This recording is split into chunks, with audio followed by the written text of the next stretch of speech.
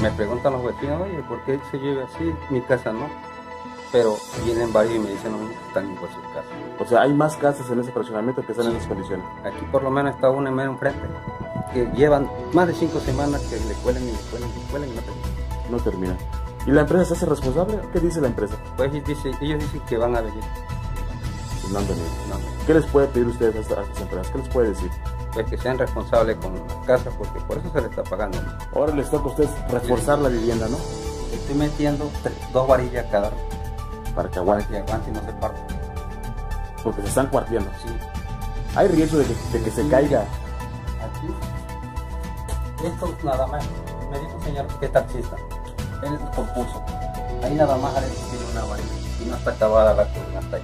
Ah, ok. Entonces, ahora sí que están viviendo la bendición de Dios acá. Algo raro la verdad porque abajo estábamos durmiendo pero el agua se va hasta así y acá nosotros nos metemos y la verdad no se puede así. Mira el baño como el baño lo, lo pegaron feo Parece que lo hicieron chamán.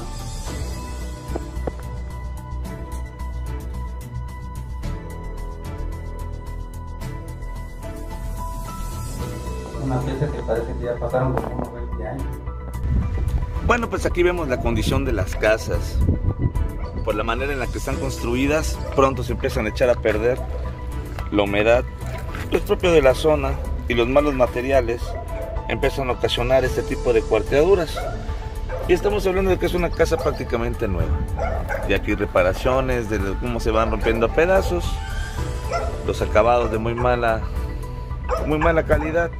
Una verdadera lástima aprovechan la necesidad de la gente para darle cosas de muy mala, muy, muy mala calidad. Esto es lo que ofrece Flamingos. Bueno, pues estamos aquí, un, vecino nos, nos hace el favor de darnos la confianza de pasar a su hogar y nos muestra con lo que tiene que lidiar parte de su patrimonio, las condiciones en las que se encuentra. Nos, nos muestra eh, perdón, con, permiso, con permiso. Una parte de su habitación, miren la miren, cuarteado, miren cómo están los acabados muy malos. Toda la parte del techo cuarteada. Habría que ver, miren nada más cómo está la cuarteadura en la pared. Habría que ver inclusive hasta que Protección Civil venga para ver si la gente de aquí no está en riesgo. O sea, Dios mío, esta es la situación de las casas aquí en Flamingos. Ay, señores, ¿qué le dicen? Porque van a componer acá. ¿Y desde cuándo, desde cuándo usted empezó a, a notar estos desperfectos en Ya tiene un mes. Ya. ¿Y cuánto tiempo tiene viviendo en su casa? Dos. ¿Dos meses? Sí. Dos meses y al mes empieza a ver estas anomalías y la empresa le, dice que va, a venir, y no ha venido. No. Ay, Dios mío.